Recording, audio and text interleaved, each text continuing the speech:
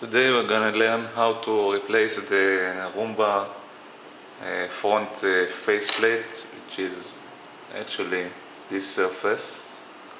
And uh, the Roomba goes uh, under uh, furniture. It might uh, make some scratches on the faceplate. So we want to make it look like new want to place the faceplate. Actually it's very easy. Just uh, some clips around the faceplate and we got the handle that interferes with the faceplate. So we can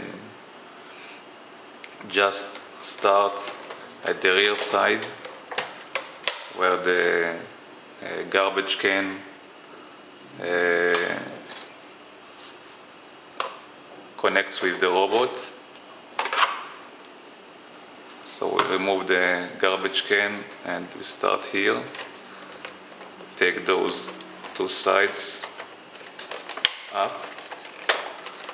You hear the clicking noise when the faceplate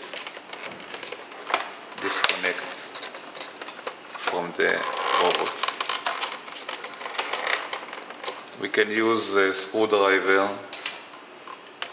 to so that the parts that were released would remain released. Now I'm gonna start on the handle side with two hands and release it. It takes some patience to release all the sides.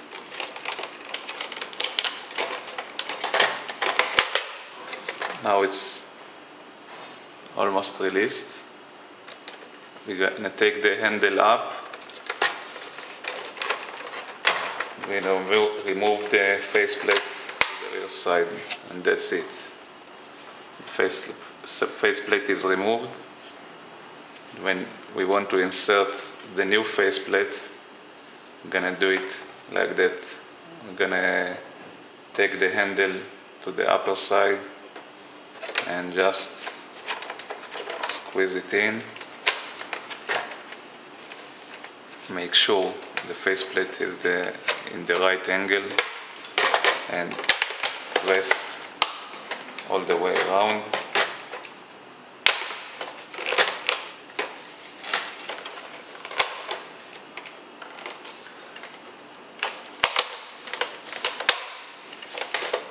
And that's it.